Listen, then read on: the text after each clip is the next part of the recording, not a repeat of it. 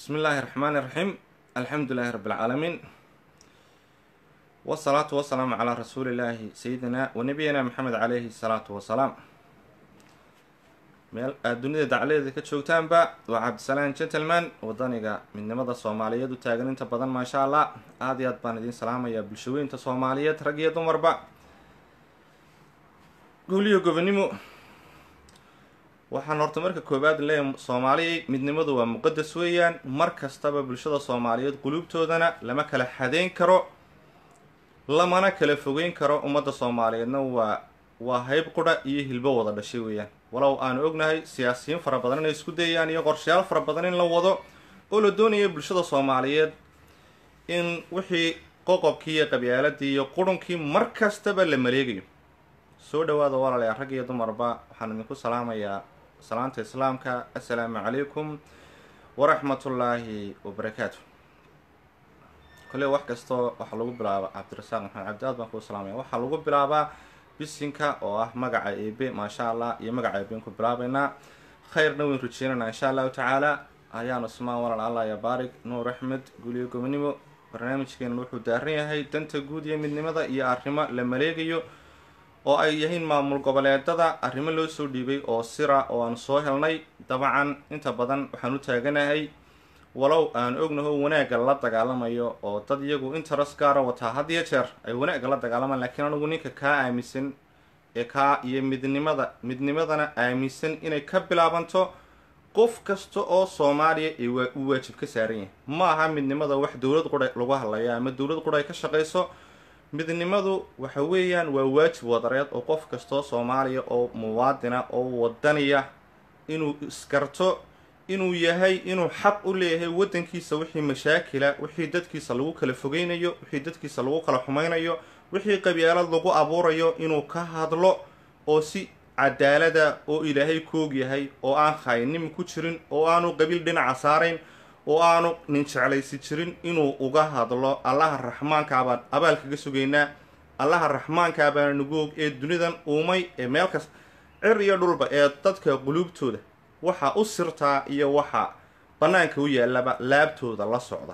Taas ayaa nidar ku marayaa waxaana nidar ku marayaa sinjigayga soomaaliyeed iyo ummadnimadeeda soomaaliyeed iyo qabiilada soomaaliyeed inay wada walaalada yihiin isku mid ii wada yihiin siyaasi kala dildilaya oo kala fogeynayana inaan midka wadaniyadda ama midnimada u taagan mooyaane inaanan weligay taabicin. Arrimahoodan aanaan galin. Ummadda soomaaliyed arrinka sirtaan maanta idiin sheegaya waxa weeyaan horta maamul goboleedadii arrin baa looga soo dhiibay. Meesha la yidhaahdo meeshinii laga dumin jiray ee etoobiya etoobiya arrinkeedu weli muu hadhin walow iyada qudheeda ay gubanayso ha gubato balaaya kaga socoto macatagaranya macaal meesha amaariya ummadeenna la xasuuqayo. Qof kastoo soomaaliya waxaad isweydiisaa bilaa calaykum intaad eexiyo reer jacayl iyo qabyaalad iyo puntland iyo somalilan iyo galmudug iyo jubbaland iyo qabiilkaasaan leeyahay inta aad bal halkan iska dhigtid qof kastoo soomaaliya waxaad isweydiisaa britana kolley oo maalintii carafaa la taagan yahay. Allah raxmaanka khayraadkeeda hana siiyo. Waxaan aad i aad aan ugu ducaynaya iyagana laynoo soo duceeya ummadda soomaaliyeed iyo muslimiinta dhammaantood xaramkii jooga ee dabcan soo xajiyaya war u soo duceeya ummadda soomaaliya su'aashaan ley ummadda soomaaliyeed isweydiiya maanta soomaali baa la xasuuqaya. Soomaali baa la laynaya. Soomaali waa isku dad waa isku dhiig waa isku ummad. Ma maalin maanta khilaaf la alooso? Warbal ujeedooyinka wax fahma maanta khilaaf ummadda soomaaliyeed gudahooda oo dagaalo ehliya oo la yidhaahdo isaaq iyo waxa la yidhaahdo dee idoor ama waxaan iyagu ku hadlaan oo cadow la ysaga dhigo lahda idoor ma jeerteen dadkaa wadahelka iminka anigu labadaba waan ka soo jeedaa xaqiiqdii. In maanta afka laysu geliyo walaa dhulbahante qaar kale ay yidhaahdaan arrimahan wax fahma waxbaa socda. Qaar kale yidhaahdaan kismaayo ayaanu shir ku yeelanaynaa iyagoo weli balaaxmed madoobe hadduu yahay. Hadduu yahay maxaa xukuumaddii federaalka waanu arkaynaa. Iyaga oo maalin ka hadlaya ummaddaa soomaaliyeed ee walaaladood oo ee la laynayo ee xabaal xabaal wadareedada oromadu u samaysatay iyagoo ka hadlayo xilis ka saaraya ama xitaa u murugoonaya balcar soo sheega. Maxaa keena marka soomaali midowdo ama soomaalinimadu timaado waayo maalmihii dhowta markii oromo ay soomaali ay dabacan dee damacii oromada eena soomaali lalaayo waxayna gashay qiiro wadaniyadeed iyo soomaalinimo. Waxaa iminka la soo istaaray barnaamijkii lagu dumin lahaa. Dhinacan maamul goboleedyada baa lagu yihi bilaaba durbaankiinii qabyaalada lagu kicin jiray dadka iyo maamulada oo xagga aya kismaayo tashuush ku fura. Kuwii puntland iyo somalilandna waa lala soo hadlay. Waxaa lagu yihi waxaad garaacdaan. Durbaankii la odhan jiray sool baa la xoreynayaa iyo meesha la yidhaahdo laascaanood laascaanood waa meeshii calankaa soomaaliyeed looga dagaalamay. Run baan idiin sheegaya. Ujeeddadu ma aha sool baa la xoreynayaa cidna daacad kama aha. Cabdiweligaasna daacad kama aha muuse bixina daacad kama aha xukuumadeenna sarena runtaa fiicane daacad kama aha. Daacadnimada iyadu way ka baqanaysaa xaqiiqada wanaagsan. Waayo inay soo farageliso oo dadkaa soomaaliyeed ee u dagaalamaya calanka ee soomaali oo idil abaalka ku leh. Dabcan lagamaya waxaa looga dambeynaya oo ay u daayeen oo mashruuc looga dhigay. Dabeetana waa nacayb baa imika la abuuraya si dadka xaggan loo jeediyo la idhahdo haa reer puntland iyo reer war dadkan waa walaalo waa xidid iyo xigaa wallaahi hargeysana weligeed soomaaliya ahaanaysa burcana soomaaliya ahaanaysa wax la aqoonsanayaana ma jiro. Garowe iyo meesha la yidhaahdo boosaaso iyo qardhana waa xidid iyo xigaal oo dadku waa isku mid oo hal cadow oo quday wada leeyin durbaankan maanta la tumayo kuwana hadhow bay soo jawaabayaan anugu waan ka sii hordhacaya. Waxaa la doonayaa in nalaga jeediyo oromadan ma ujeeddadu walaaleel waxa weeyaan iga raali ahaada dabcan qofbaa hadba number bay soo galay ujeeddadu waxa weeyaan inay laga jeediyo xasuuqa ay oromaya nagu hayso. Mid kale oo dignina ama aan wadaniinta inta xalaashaa bartan uga dareen way jirtaayoo waxaan idiin sheegaya. Warnimo yahow qorshaa la gala qorsho wadaniinta waxba anagu isma sheegayno. Raggan anigiyo ka mid ahay. Liisas heshiisyaa baana lagu gala waxaa la idhi war dadkan wadaniyada afar tag sacuud tafaxaydan ee qabyaaladiiyo waxaana ka kaaftoomay ee qarannimada ka hadlaya. Nimankii maamul goboleedadu dowladdii federaalka ahaa iyo madaxdii. Heshii waxay la galeen oo idhahda warniyow dadkaasu dhib bay nagu hayaan ummaddii bay nagu kicinayaan yaa haddii wax wanaaga yaanu idin dhex marin. Hana soo dhawaysanin horta anigu iyo wadaniinta kale waxaan leeyahay wanaaggeegu iyo calankan buu ku jira iyo sharafteedu. Weligii allahayna wanaagga allaha raxmaankaabaa jecelo shaksi iyo hebel iyo wax noocaasa. Dabcan waxaan leenahay midnimada soomaaliyeed ha jirto. Muqadas dawada soomaaliyeed anigaa mar kasta ku celinaya waxay ku jirtaa dowladnimo gacmaha la ysqabsado oo inanka boorama jooga iyo ka saylac jooga iyo ka kismaayo jooga iyo ka jawahar jooga iyo ka muqdisho jooga. Hal dowlad ay ka dhaxayso hal dowlad oo dowladahan faraha badan ee maanta sii inagu inagu sii xididaysanaya la leeyahay anigu galmudugis baana anigu puntlandes baana anigu somalilandes baana anigu waxaan ahay koonfur galbeed baana anigu waxaan ahay jubbalandis waxaan u arkaa wax xaaraan ah waa xaaraan maqtac ah. Allaha raxmaankaa baana dhaqaale iyo lacag bixiya. Dhaqaale kasta oona lagu soo bixiyo oo maamul goboleedadu ay isku dayaan iyaga oo dabcan ku xudxudinaya oo madaxda sarena ay waxay doonaanbaha ay haystaan. Waxay doonaanba ha is idhaahdaan arrimaha noocaas lagama yaabo. Halgankii aan bilownay iyo hawshaan social mediaha ka bilownay ee ahayd midnimada soomaaliyeed waa muqadas dadka soomaaliyeed waa qoys iyo qaraabiyo xidid iyo xigaal dawadoodu waxay ku jirtaa hal dowlad oo dowladda caasimadoodu waa muqdisho inaan marnaba ka leexano balse digniin imikaba waa la ysku daya waadanaad arki doontaan rag fara badan oo ogeydeen waa la aamusiyey xaqiiqadaa wanaagsan oo maamuladu waxay ka soo cawdaan oo ay necib yihiin oo dowladdana ay shuruud uga dhigaan. Anagu waan jecelahay in maamulada iyo dowladdu ay wada shaqeeyaan oo maamuladuna aanay dhaafin.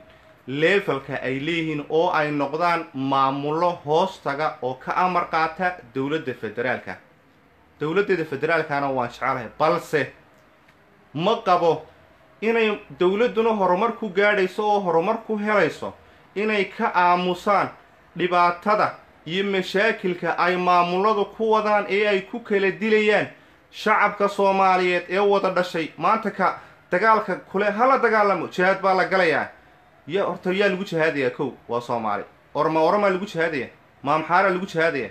Saa doontaan u fasirta. Wallaahi iguma aha isaaq baa dagaal lagu soo qaadaya. Anigaale xaaraan bay isaaqu ku tageen iyo maamulka hargeysa anigoo miyirkayga iyo maankayga qaba waxaan leeyahay waa xaaraan waa dulmi waa cadaalad. Darradii ay ka dagaalamayeen ay odhan jireen dowladda maxamed saabraa nagu samaysay in reer sool waa dhiiggaygii waa dadkaygii dhulbahante iyo deegaankooda iyo warsangeli iyo deegaankooda. Ilaa samaroonta boorame inay fikrad ay iyagu wataan oo u khaasa inay dusha kaga keenaan oo dowladdii sarena fikraddaa iyaga ku ixtiraamto. Muuse bixi borima ma laha laasacaanoodna ma laha xudunna ma laha buuhoodlana ma laha waa haddii cadaaladda loo soo dhowaanayo wallaahi raganimaduna waxay ku jirtaa. Geesinimadu waxay ku jirtaa. Runta oo laga badheedho cadaaladda oo la dul istaago eexda oo laga fogaado intaraska oo laga fogaado haddaad dhimanayso dhareerka laysku xujaa annagaa annagaa kaa aaminsan. Annagaa leh dadka reer sool dulmi baa lagu wadaa. Laakiinse waa dad gob ah. Waa dadka haddii ay soomaali abaa leedahay waa sayid maxamed cabdilla xasan raggii soo dhaweeyey bay ahaayeen ee midnimada soomaaliyeed u dagaalamay ee gobinimada u dagaalamay. Ma qabato maanta in dhinacna nin garowa fadhiyaa uu ku dhagidhaga ku dul ciyaaro iyo mid hargeysa fadhiya. Uu yidhaahdo anigaa dhinacan oo iyaga lagu eego oo dowladdeedii sharafta badnayd ee dareenka shacabka soomaaliyeed ku timi ay isku eegto oo ay tidhaahdo somalilan iyo puntland baan arrimaha noocaasa uga dambaynana. Idinkaa u dowladda laascaanood calankaasa laga aaminsanyay waan ku faraxsanay maalin dhowto waa tii shir laga qabanayay maamul goboleedaduna khalad bay wada iyaguna cadowgay u shaqeeyaan oo imaaraad baa imkana lacag soo siiyey iyo amxaaro xaqiiqada soomaaliya waa taa arrinkanay kismaayo ugu shirayaan waxa weeyaan inay ummadda soomaaliyeed durbaankii qabyaaladda ay u tumaan ay qabyaaladda ugu tumaan waxa la yidhaahdo inaguna jubbaland baynu nahay qabiil baynu ilan maamuladani gebigooduba waa aabbaha qabyaaladaba qabiil qabiil iyo qoys qoys war waxay danta soomaaliyeed ku jirta. War anigu mabda baanu leenahay dadkan meelaha hoose ka hadlayo mabda iyaga u bedeli mayno. Luf luf yar oo maalin la cuno oo dhammaada. Dalkaygu dhammaan maayo. Isirkayga soomaalinimaduna dhammaan maayo. Calankanna cidna looguma hanjabo oo lama yidhaahdo calankan waa kaan faransiiska ku hoos joogo. Waa ka dhaqaalaha laygu siiyo. Waa kaan ku hoos dhashay.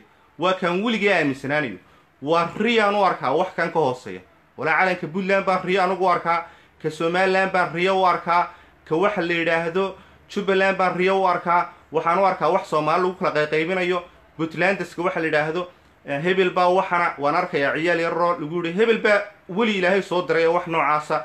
War adeer dowlad raali gelinaysa maamul goboleed oo ama shaksi raali gelinaysa shacabka reer puntland waa dad wanaagsan oo gob ah majoritigooda oo dowladnimo jecel. Dadka reer somalilan ee burco iyo hargeysiya degan maamulka waa dad wanaaga iyo ma annagaa dirsanay. Kumanaan dhalinyaro ama turki nagala soo xidha ama dunida daceed nagala soo xidhaale dowladnimaan u baahna oo hargeysa iyo burco u dhashay.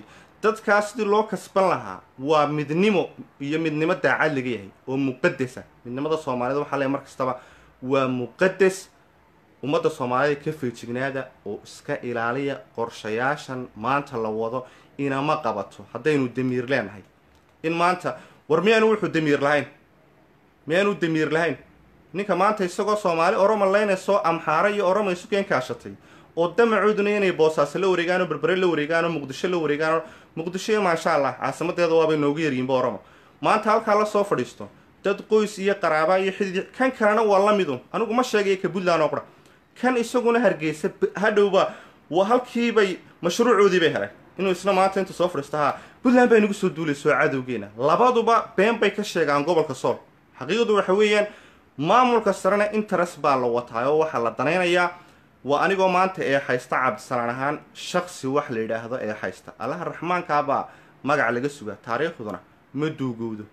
Waxa mustaqbalka fog baana laga fokeraa danacaamaana laga fekeraa reer sool waryaa reer sool odhan karaa soomaali bay diiday miyaanay xaq lahayn? Miyaan xitaa haddii labadan isku jiirhjiidhaan in qorshe loo dejiyo oo dadkooda xalaasha ee ama khaatumo taabacsan ee midnimadu ka dhab tahay inta loo yeedho. Soo ma aha in la yidhaahdo rabitaankiina waa maxay? Oo dadka rabitaankooda ma in rabitaanka cabdiweligaas iyo muusabixi la tixgeliyaabaa ummadda soomaalida taas ma cadaalad baa? Iyagu garaadadoodii meeyaan ma loo yeedho? Ma ninka hogaamiyaha ee madaxda ee dalka maanta ugu sarreeya intuu yeedho dadka rabitaankooda waa maxay? Dunidu waxa la yidhaahdo operation ama cadaadis waa la dhaafay. Freedom of speech baa la maraya duni global village bayn joognaa lakiin dunidii markii madaxdogta caalamku timaado ee wufuudu timaado way arkayaan rabitaankii dadka. Laakiinse maxay dareemayaan? Inta sulux aan waxba lagu keenay oo la leeyahay musabixia la raaligeliyo haddii kale muxuu samayn karaa? Cabdiweligaasa la raaligeliyo in mustaqbalkii ummadda lagaga luminayo maxaa annaga haddabana loo yaryanaya ummadda soomaaliyeed? Ilaahay baa nugoog. Heshiise la wada galay. Wixii hoos wixii horeba kor uga kacaba oo wadaniyiintao dhana ma aha anigoo qudha cabdisalaana ma aha saaxiibka cabdifatax budhuriyo meelaha dabcan ka hadliyo fikradihiisa dabcan meelo badanna waanu ka midaysannahay meelaha qaarna bini aadamku dee ma wada. Laakiin an waxaan u arkaa ciyowgii habeen dhawaaqe wuxuu ka cawdu dareen heshiisada waxaa lagu galay inaan qof wadaniyad ka hadla oo qabyaalada ka hadla oo yidhaahda soomaalidu waa mid inaan maanta la soo dhaweysanayn oo la jeclayn. Indhihiinaan idin markhaati oo laga jecel yahay ka yidhaahda isaaqu waxa weeyaan waa duriyad xalaala oo waa nooca daaroodku waxa weeyaan allah waa boqortooyooyinkii hawiye ha waa jinays oo sooma ruuxba anagu waxaan leen soomaali waxba ma kala qaadee mana kala awood badna mana kala sharaf badna walaa gabooye walaa daarood walaa hawiye walaa soomaali oo dhan waa mid. Waxaanay gobonimadooda ku jirtaa inay gacmaha isqabsadaan in laysku soo ururiyo in laysu keeno in khaladaadkii laga bogsiiyo in tabashooyin laakiin in cid gaaran la buunbuuniyo cidna wallaahi baan horumar lagu keenay. Dowladnimo waxay nagu jirtaa iyo calankeena horta oo guulaysta. Insha allahu tacaala mana quusan doono waanay guulaysanaysa annagu shacabkaanu la hadalna shacabkana dareenkayga ay faray. Dadka shacabkaana waa dadkaygii waa ehelkay waa qaraabaday waa xididkay waa xigaalkay waa ummadaydi. Wixii ilaahay isoo dareensiiyee aan dareemo bartaasaan uga sheegaya dadow dadow maanta madaxdeennii maamul goboleedadu iyagu marka horeba jawaasiis bay ahaayeen. Iminkana mashruuc bay soo qaateen. Etoobiya imaaraad bay ka soo qaateen. Waxaa lagu yihi ummadda soomaaliyeed waa maxay way toostay? Waa maxay soomaalinimadanay ka hadlayaan oo reer gaalkacyaaba soomaalinimo ka hadlaya oo hargeysaaba ka hadlayse burcaa ka hadlaysa oo kuwa naga toostay dhegta abiye baa lacag u soo dhiibay. Dadna samaaytagaa lagu shira oo dad kala googooya bal idinkuu fiirsada kuwana waxay halkan ka bilaabo reer shaqa saxaaqi iyo dadkan walaalaha war ma jeerteeniyo saaqi waxbuu walaalo. Ha layska hor keeno wallaahi dagaal baa ku dhimanaya. Dhulbaantana waa dadkaygii waa ehelkaygii. Waxaa loo baahan yahay sidii loo wada mideyn lahaa. Dabeedna waa wax neeloogaga jeediye amxaarada. Oramaa cadowgeega amxaaraa cadowgeega dowladdeedana waxaan leenahay war annaguna dadkaanun idinkuna dowladdii baati waanu la soconnaa dadkeega aqoon-yahankeygaana la soo xidhiidha sirdoonkeegaanu leenahay wanaaggiinaanu jecel lahay horumarkiinaanu jecel lahay. Mar kasta annagaa ku soo celina dawada soomaaliyeed waxay ku jirtaa dowladnimo digniintaan idin daraya waxa weeyaan ee baaqa. Waxaa la doonayaa dhiigga ummadda soomaaliyeed mashruuc lagu daadinayo oo la rabo in dagaaladii ehliga ahaa inay lagu jeediyo oo amxaaran ay laga jeediyo iyo oromada inagu cadowga ee dadkeena laynaysa. Aad iyo aad baan idiin salaamaya soomaaliya ha midowdo ha israacdo calankiinuna ha guulaysto. Guul iyo gobonimo oromana ha jabto onolofna ha guulaysato. Aad iyo aad baan idiin salaamaya xaqudirarka onolofna ha guulaystaan soomaalinimadu ha sarrayso. Guul iyo gobonimo wasalaamu calaykum waraxmat ullahi wabarakaatu